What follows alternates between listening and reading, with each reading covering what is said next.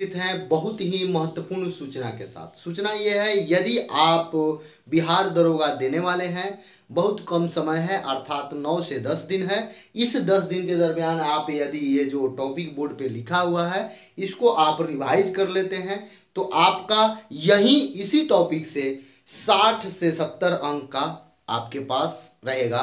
उसके बाद आप जो पढ़ें वो पढ़ते रहें। लेकिन इस टॉपिक पर विशेष ध्यान दें। यदि आप दरोगा बनना चाहते हैं तो इस टॉपिक पर प्लीज़ विशेष ध्यान दें। चलिए देखिए, सबसे पहले बता दें कि आपको उपाधि, जिसको कौन सा उपाधि मिला है उसको थोड़ा सा देख लेंगे।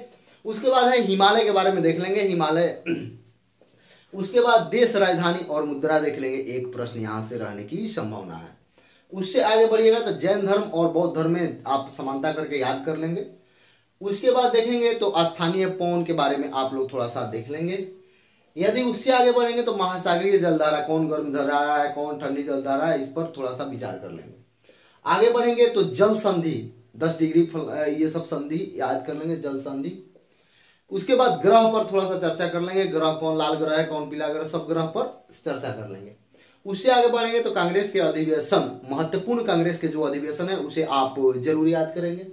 उससे आगे बढ़ेंगे तो प्रमुख दिवस यानी कि दिसंबर में आ, आपका एग्ज़ाम है तो नवंबर और जनवरी फरवरी ये सब का देख लेंगे।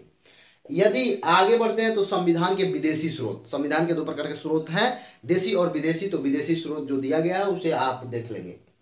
संविधान के अनुच्छेद जो भी महत्वपूर्ण अनुच्छेद है उसे आप ज़रूर दे, दे देख लेंगे।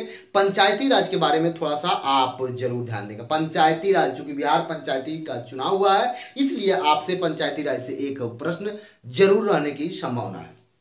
आगे आइएगा तो मगध साम्राज्य चूँकि बिहार में पड़ता है मगध साम्राज्य पर देख लेंगे और महाजनपद के बारे में थोड़ा सा एक बार रिवाइज ज़रूर करेंगे।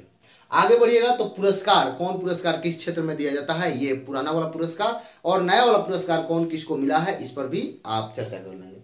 आगे बढ़िएगा तो पर्वत और दर्रे के बारे में थोड़ा सा पढ़ लीजिएगा, झरना भी थोड़ा सा रिवाइज कर लीजिएगा।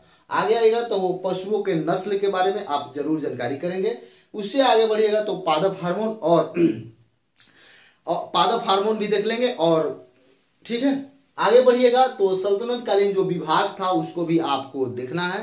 उससे आगे बढ़िएगा तो समाचार पत्र, कौन समाचार पत्र, कहाँ से प्रकाशित होता है? भारत का प्रथम समाचार पत्र, इन सारी चीज़ों को आप ज़रूर देखेंगे। उससे आगे बढ़िएगा तो विधानसभा, विधान परिषद न्यूनतम कितना है, अधिकतम कितना है, कहाँ का विधान परिषद है, कहाँ नहीं है, ये सब ज़रूर आप देख लेंगे।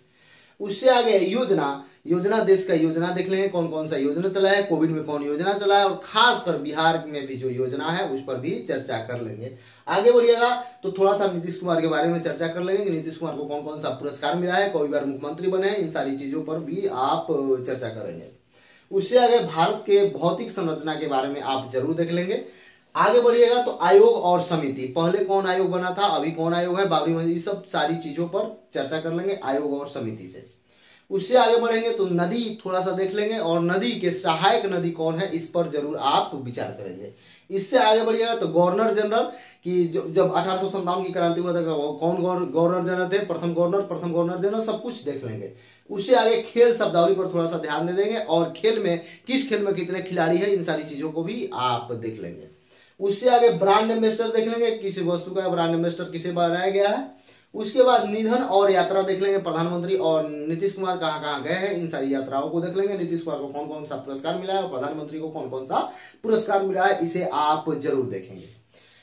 टोक्यो ओलंपिक ओलंपिक और पैरा ओलंपिक में दोनों देखेंगे क्योंकि बिहार से भी जुड़ा हुआ है, इसलिए यहाँ से प्रश्न आने की हंड्रेड परसेंट संभावना है। रिपोर्ट सर्वेक्षण और सूचकांक, ये तीनों आप अच्छा से देख कर जाएँगे। रिपोर्ट सर्वेक्षण और सूचकांक। और एक बात बता दें, अभी रिवीजन आप जितना करेंगे, उतना बेनिफिट होगा। आप नया पढ़ने की कोशिश ना करें। उससे आगे आइएगा तो जी आई टैग दे दीजिएगा, देख लीजिएगा, बिहार से कौन कौन चीज़ का डी आई टैग मिला है, और आप रामसर साइज़ को थोड़ा सा देख लेंगे।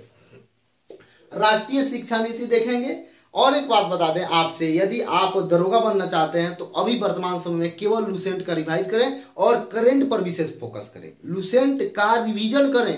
और करंट पर विशेष फोकस करें। यदि एक सेट लगा रहे हैं तो ठीक है, यदि सेट नहीं मान रहे हैं, फिर भी कोई बात नहीं। आप रिवीजन पर विशेष ध्यान दें। जो आप पढ़े हैं, उसको रिवीजन करें। जितना आप रिवीजन करिएगा, जितना बार बार पढ़िएगा, वो आपके लिए बेनिफिशियल साबित होगा।